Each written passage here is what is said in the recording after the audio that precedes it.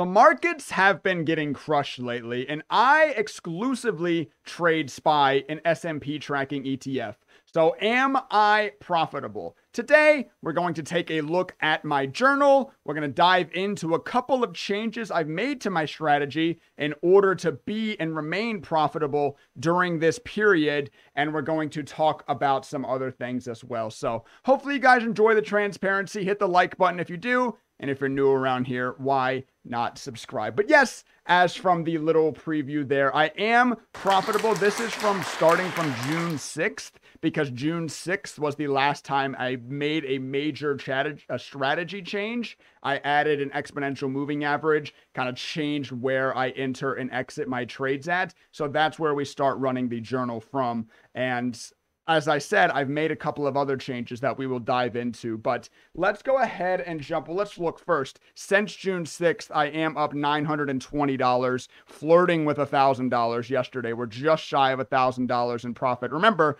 I have a 20, well, now I have nearly a $27,000 account. We are just over 25 grand. So we don't have a huge account. We're actually trading relatively small size. I am small because I do not want a normal drawdown to be able to take me under 25 grand. So keep that in mind too. Yes, yes, I'm not making as much money as someone with a $100,000, $400,000, $700,000 account, but we're doing okay for the account size that we have, right? Anyway, I changed my tag here in Tradervue. Tradervue is the journaling tool that I use. I changed my tag to show just the day trades. Let's talk about just how my day trading has been going recently. And as you all may or may not know, I only long SPY. When I'm day trading, I'm only longing SPY. I actually changed that. That was, uh, since June 6th, I've changed that. Since around in here, I did a little bit of a longer back test of my strategy, and I found that only longing is actually more beneficial than trying to fit the shorts in.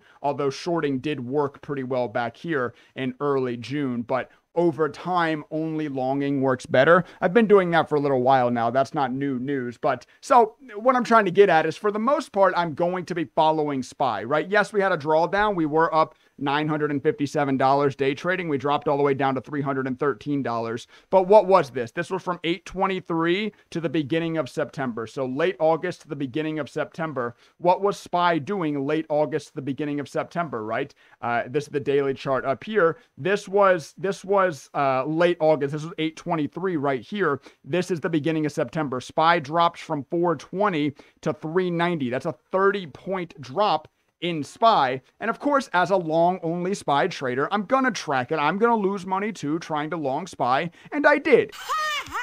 now, towards the bottom of this, I made a video on this. This is the first change I've made to my trading system. I've made videos on both of these changes. Neither one of these are new things. Um, but the first thing I did was I decided that I was going to change how I decided to do my position sizing. Before, I was upping my position sizes. Once I got up over $500, I raised my position size. You might be able to see that here actually from my daily volume. It starts to pick up a little bit once I got over $500, right? Because that was what I was doing before. But I changed it to give myself a little bit more flexibility. I made it more variable, let's call it a variable sizing strategy. Whereas, you know, when the market's hot, let's size up and attack. And when it's not, let's size down. So over these next couple of days, you can see we actually went from up $300 to then up 833. That's a three or sorry, a $530 made in four trading days here. We made back almost this entire dip in four trading days. And what happened there?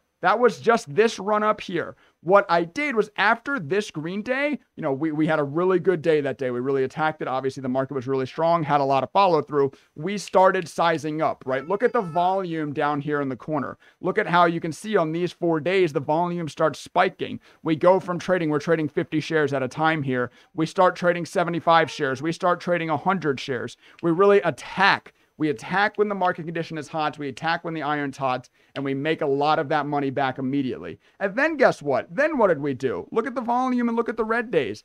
All of a sudden, SPY gaps down. This is CPI. This is when inflation data is announced. SPY gets a large gap down. We go, uh, okay, guess what? Market conditions not there anymore. Let's size down. As you can actually see from the tr- one trade I took so far today, uh, we're only trading 25 shares right now. The market conditions just not there. It's weak. The market's dropped from 410 to 380. That's actually perfectly enough, that's a 30 point drop, exactly like this drop was. It's exactly the same amount of drop. And guess what? In that drop, we lost over $600. And this drop, we've lost, we've gone from 833 to 663. That's that's what, like 170, 180 dollars.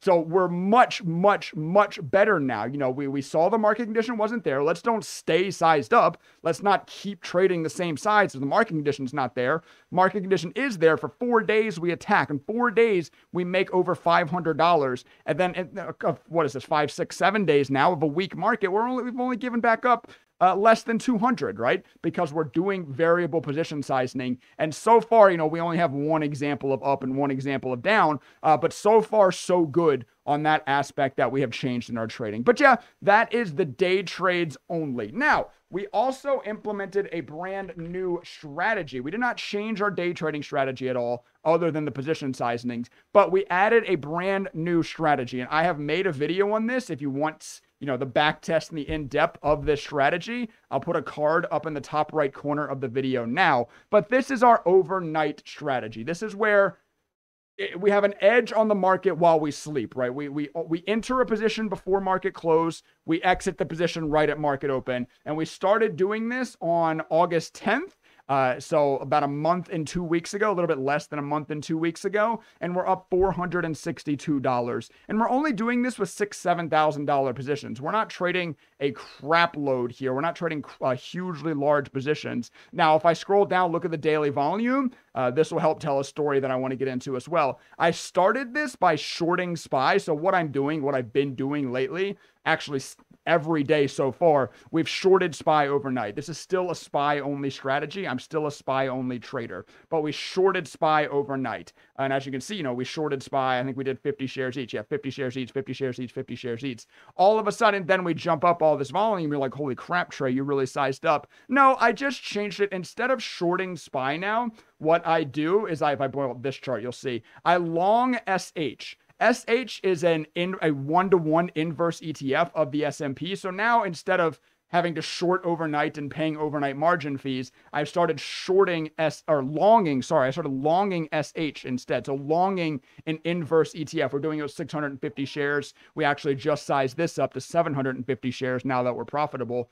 Um, but yeah, so if we go ahead and look at SPY, uh, once again, I started it actually, funnily enough, as you noticed from the, I know I'm jumping around a lot, but as you noticed from the journal here, the first day we did this, we lost $177, $75, at $53. Actually, our first three days, we ended up down $300 with this strategy. But in the video I linked before, we had 29 years of back-tested data. So it didn't scare me away. I didn't care. I stuck to it. I know the strategy works over time. That's the point of an edge in the market is it works over time. Who cares about three days, right? We stuck with it. Obviously, from down 300, we're now up 460. That's a $760 swing since our first three days, right? But funnily enough, our, our first day was here. We were short SPY overnight on inflation data gapped the market up large, gapped the market up, gapped the market up. But then obviously since we've caught a nice gap down, caught a nice gap down here, we caught a smaller gaps, a nice gap down here, a nice gap here. Obviously that is why we are now profitable with that system. It did lose us a little bit of money today, small gap up today, but as I said, not meant to be green every day, just meant to be green over time like this. And this is why you journal so you can see how your strategies are working over time because it doesn't matter how it does in one day, one week, one whatever. You need to see over time like this. But yeah, that's an update on where I've been trading, kind of how my trading has been going since I've implemented those two new things into my trading system. And I just wanted to I haven't done this in a while. I wanted to show you all my trade journal again. Transparency is, is kind of my thing. It's kind of what I do. Uh, so hopefully you guys enjoy it and hopefully you guys respect it. But yeah, nice little game. Once again, oh, let's talk about this too. One last thing to touch on. Uh, this this journal is starting from 6-6 and I only trade SPY. This is starting from June 6th and I only trade SPY. On June 6th, SPY closed at 411.79 is SPY close on, on June 6th. That line is way off. It's 414, Trey.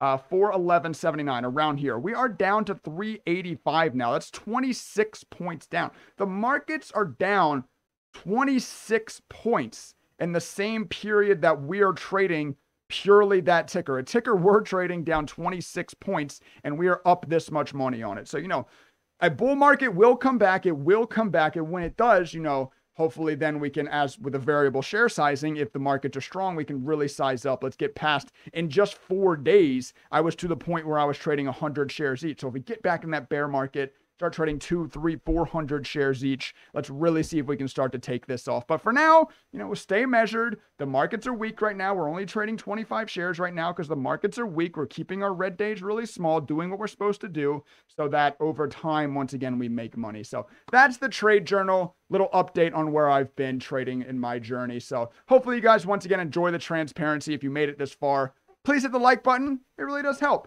And if you're new around here, why not hit that red subscribe button? Do the magic trick, make it turn gray. With that being said, I'm going to go ahead and sign out of this video. I will catch you all in the next one.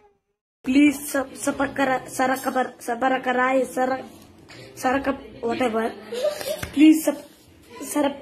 Uh, I want to reach one million likes. So please sarapa saparak sarapakara sarapakara sarapaka sarapakarai sarapakarai. Yes, yes.